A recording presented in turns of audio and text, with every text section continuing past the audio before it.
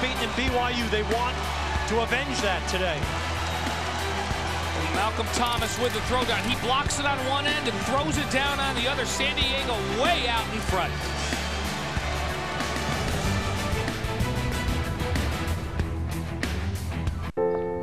The Kincaids live here. Across the street, the Padillas.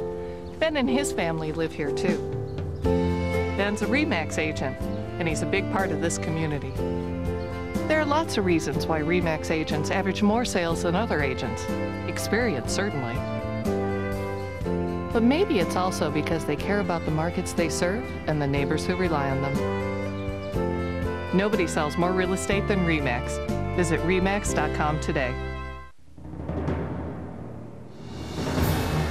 Here's a moment in San Diego State history. Through the decade of the 1960s, men's collegiate volleyball was only a club sport, but the San Diego State Aztecs were the Goliaths amongst a nation of Davids. In 1970, the NCAA officially sanctioned volleyball as a sport. The UCLA Bruins hit the trifecta, winning the first three NCAA championships. But on May 26, 1973, San Diego State and Long Beach State meet in the national championship. The 49ers win a thrilling first game by the score of 15-11. Undaunted, the Aztec Spikers assert their dominance and answer back with three straight wins to capture the school's first and only Division I NCAA championship. That unforgettable season and that never-say-die 1973 team is now immortal, enshrined in the Aztec Hall of Fame.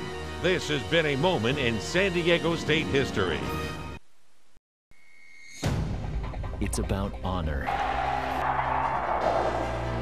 loyalty, a commitment to team, a competitor's spirit at their core.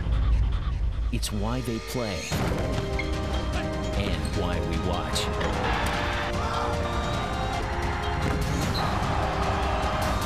The mountain, where the West is one.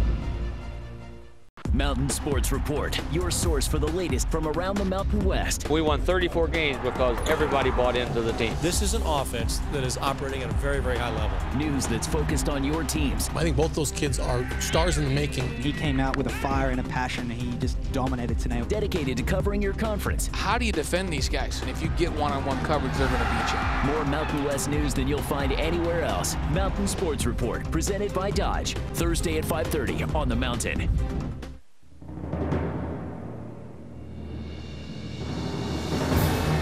Here's a moment in San Diego State history. 1941. The San Diego State basketball team made it into the title game of the NAIA Basketball Championship. Murray State was a good squad, but Bill Patterson's two field goals in the final minute gave SDSU the NAIA national title 36-32. Coach Morris Gross left the team a year later with a career record of 190 wins, 85 losses, with 14 glorious seasons.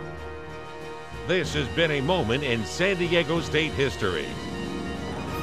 The new 2011 Dodge lineup is loaded. Loaded with industry-exclusive Super Stow and Go seating and best-in-class cargo capacity. Loaded with available seating for up to seven and a top safety pick. Loaded with available Hemi V8 with fuel saver technology. And loaded with best-in-class towing and driving range.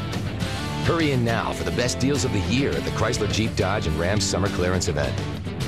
Now during the summer clearance event, get $2,000 cash allowance on the 2011 Dodge Durango. San Diego State by nine. Those numbers, by the way, the seven and eight are the national rankings of the two teams, to make that clear. More on that in a moment, but a reminder that coming up at halftime, we'll have the U.S. Bank NBC Sports Report. Liam McHugh will recap all that's going on this incredible day college basketball, all coming up at the half. Hope these teams continue to get more love from the computers than they do from the human voters.